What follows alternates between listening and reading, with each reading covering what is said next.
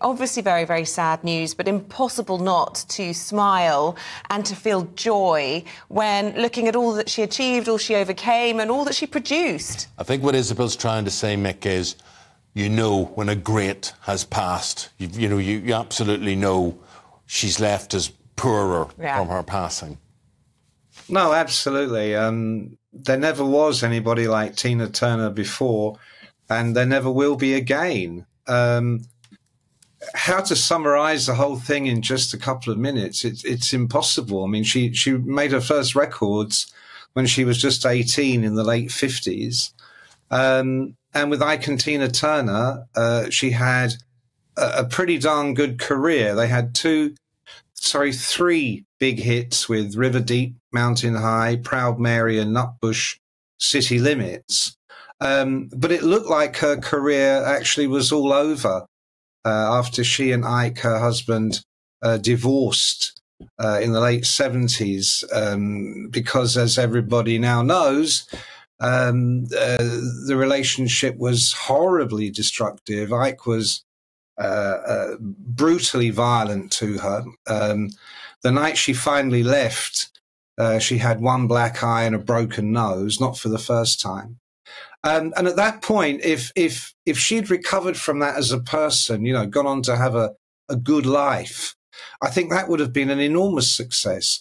As it turned out, she she went on to have an extraordinary solo career, which completely dwarfed everything she'd done before with Ike, um, and made her one of the very biggest stars of the 80s. She was right up there with Madonna, Bruce Springsteen, um, and uh, I was laughing earlier, Amy, Eamonn, when you were talking about the way she dances.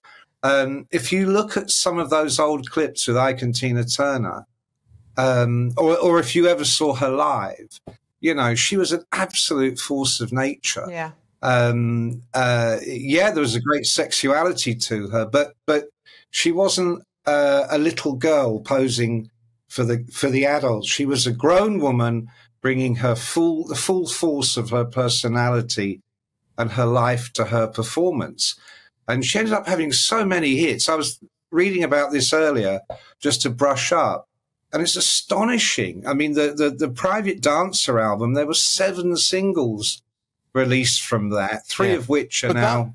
That, but that was classic. her second coming, Mick, wasn't um, it? I mean, she when, went on when you talk about her life after uh, Ike, I mean, there in the 80s, she releases that album, Private Dancer, and the single Private Dancer as well. And then she just took off after that. Yeah, absolutely. I mean, she'd, she'd, um, her career had completely stalled in the late 70s.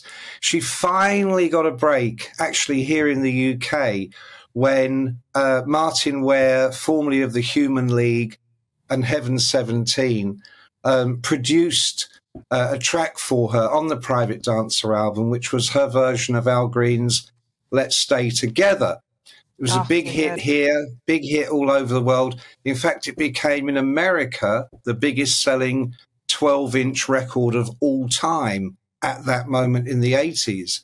And then by the time you get to uh, What's Love Got to Do with It from the same album, written, by the way, uh, by one of the former members of Gallagher and Lyle. Um, and and the track "Private Dancer," which I don't know if you know, Eamonn, was written by Mark Knopfler of Dire Straits. Um, in fact, it was scheduled to be included on the Dire Straits album "Love Over Gold," but Mark uh, sensibly decided at the very last moment uh. that um, a grown man couldn't really sing that song. I mean, I suppose a grown man could sing that song, but really, it was better know, her Tina singing it.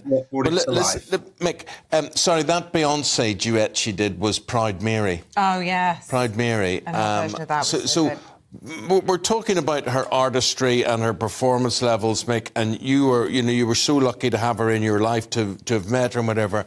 But off stage, what, what, was she like? I mean, obviously she had a, a magnificently strong presence on stage. I've no idea as a person what she was like. I've rarely seen interviews of her. I don't really see her doing the chat show rounds. You've got or... to watch that documentary that came out. I was at yeah? Netflix last year, Mick. It's a long documentary, but I, I couldn't turn it off. I was mm. absolutely gripped, and she's interviewed a bit in that. What, what, what was she like as a as a person?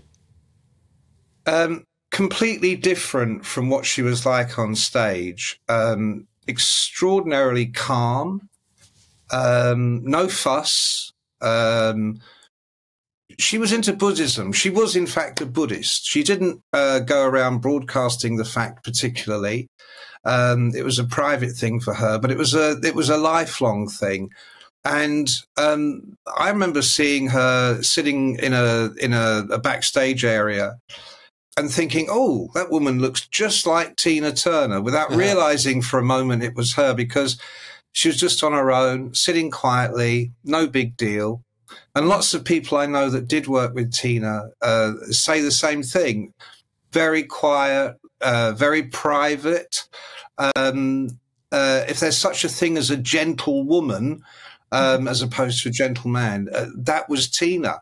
Um, and I think you can see that as well. That you know, once she did retire, she stayed retired. I mean, there were there were she came back a couple of times with some music, but her touring life, her showbiz life, when she said I'm retired, she stayed retired, and she was uh, she was a, a, a grown up in a in a in an industry run by infants quite often. Yeah. So I think she was amazingly uh, composed and um, just left it on the stage, brought everything yeah. to the stage, and when the show was over, um, went home very quietly, no big fuss. Yeah, she, she happily remarried, didn't she, to a, a German record company exec uh, on the banks of Lake Zurich in 1985 uh, and ended up becoming a Swiss citizen, and that's where she ultimately died. But tragically, her two sons died before she did, um, although she did also adopt Ike's uh, remaining children and, and, bring them up, and they